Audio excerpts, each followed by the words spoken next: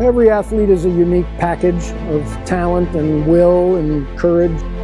Every time she stepped on the track, there was a, a record that was following, um, some big surprise. Jenny has like the best last 50 in the world. She's pretty fearless. She might be a once in a career talent. It's pretty cold out, but we'll go outside and cool down no inside. So we need two and a half, nah. 10 total this morning. got buffalo skin. All right, nice and relaxed. You're good.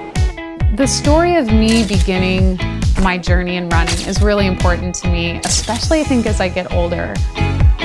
She has to do things pretty differently, and there's a big spotlight on her. 2009 was really special. I really wanted to win cross country. I didn't want to leave that on the table.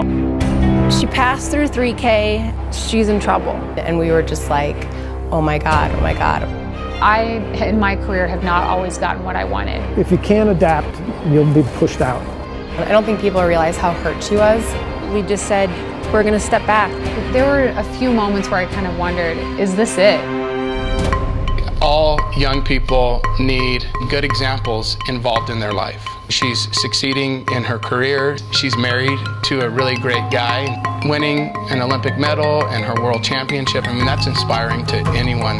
There's so many days and so many years and so many miles leading up to this moment. I can't back out now.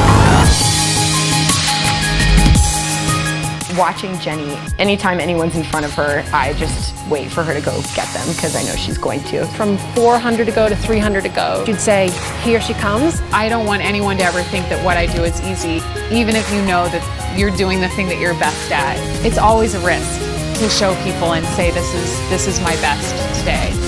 Thank